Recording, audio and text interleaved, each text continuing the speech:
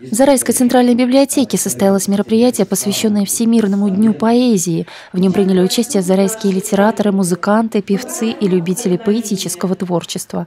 Любовь к родному городу, патриотизм, философское раздумье, восхищение красотой природы, нежность и трепетность человеческих чувств – все это выражено в стихах и песнях, прозвучавших на музыкально-поэтическом вечере «Чарующие звуки». Ольга Желдева, Анастасия Булатова, Герман Беляев, Константин Куянов, студия Куван, Зарайское кабельное телевидение.